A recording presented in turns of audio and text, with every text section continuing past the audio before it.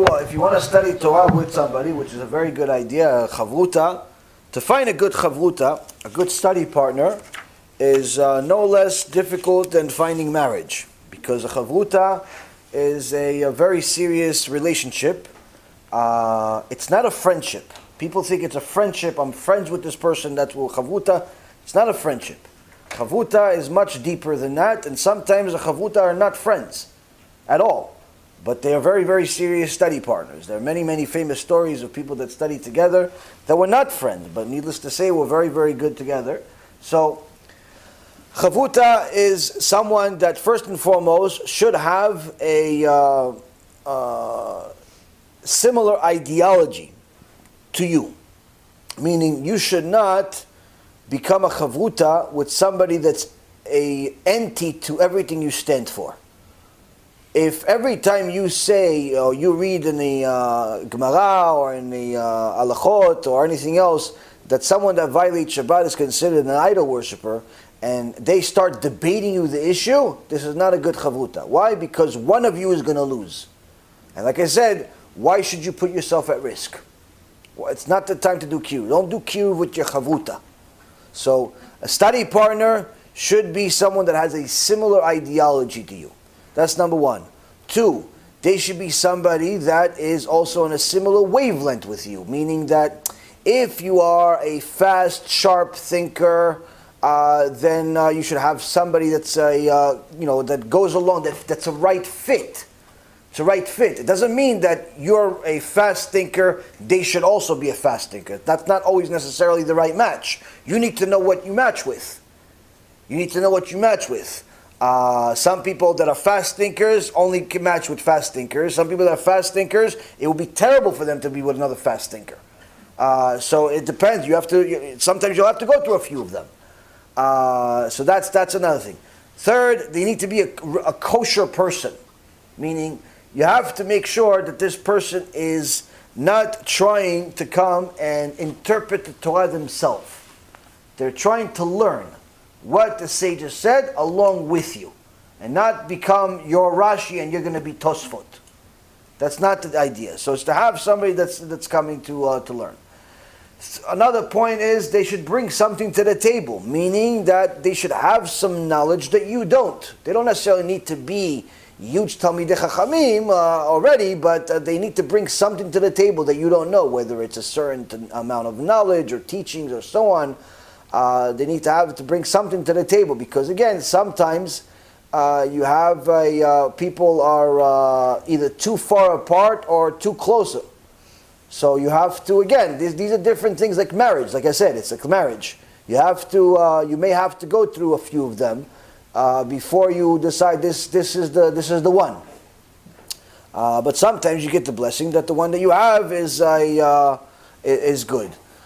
Another point is, is that you have, before you're critical of them, you have to be critical of yourself first. Meaning, everything you judge them for, judge yourself double.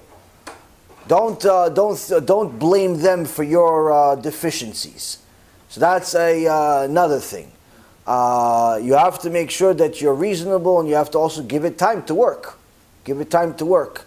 Um, another thing is, is that there has to be some type of chemistry between you, meaning it has to work as far as the relationship itself. Like I could tell you also, um, there are different types of people that are going to be chavruta. Sometimes you have a chavruta where everyone likes to talk.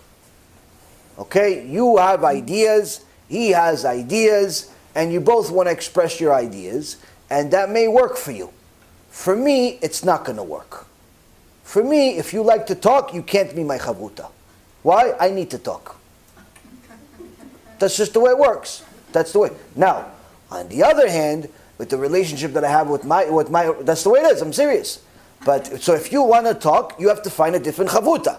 Now, don't worry. Even if you don't like to talk, you still can't be my chavruta. Mm-hmm. Why? Because I have a chavruta already. I have my rav.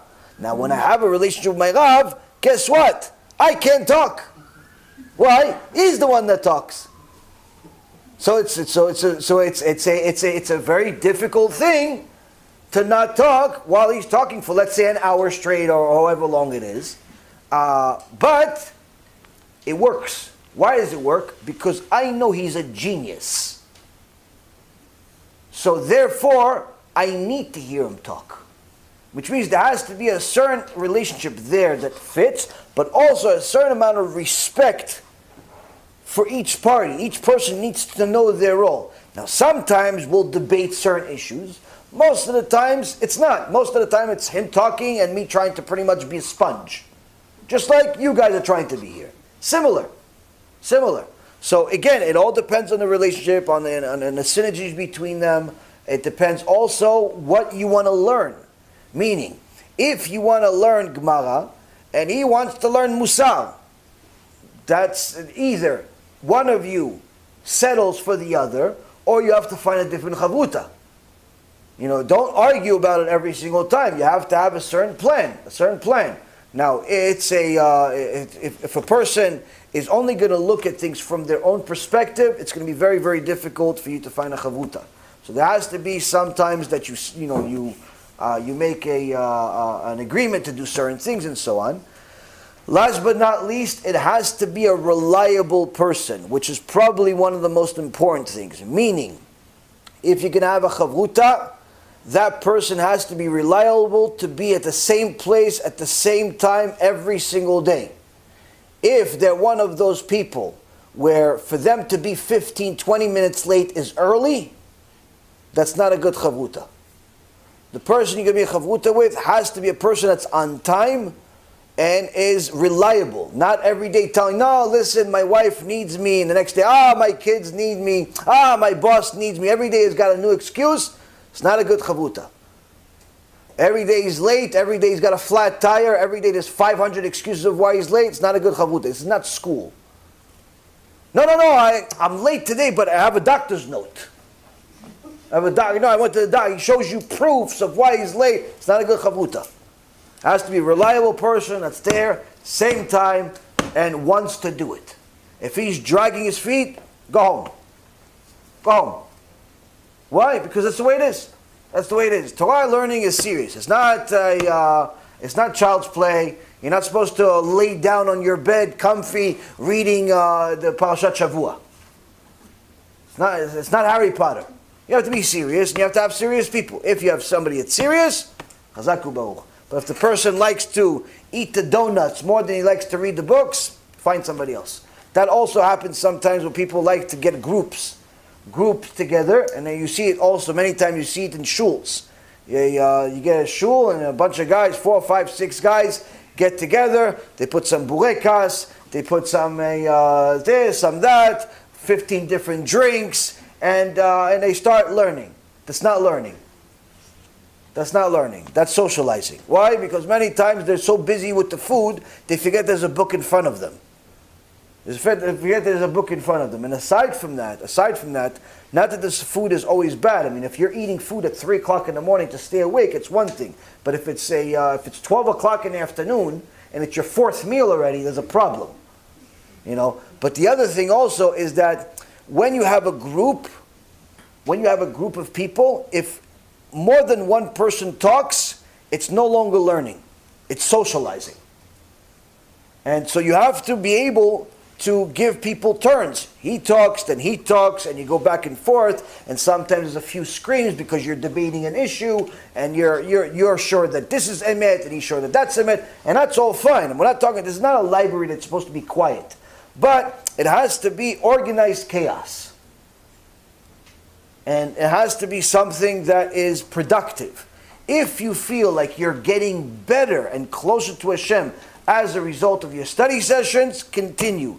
But if you see that the only thing you're getting out of these study sessions is fatter and more friendly with people, change the study session. Change the study session. B'Shem Hashem Na'aseh V'Natzliach, we're very excited to offer you the new BeEzrat Hashem app 3.0. It's a newer, faster app full of Torah, lots of Kedusha by uh, the shiurim that we do, myself, Rav Ephraim, Rav Chaim, uh, where you'll have uh, also newer features where you're able to use the app uh, while you're using other applications on your phone. You'll be able to share the uh, the lectures directly from the app. You'll be able to donate online and support our kiruv and our Torah work that we're doing. And the most exciting feature is that you'll be able to actually ask questions directly on the app and get answers from the rabbis directly from the app. This is something unprecedented, and Baruch Hashem will be able to offer it. Thank you again for all of your support. Check it out. Make sure you have the kosher Torah that uh, will re-energize your neshama each and every single day. Kol tuv B'chavatzlacha.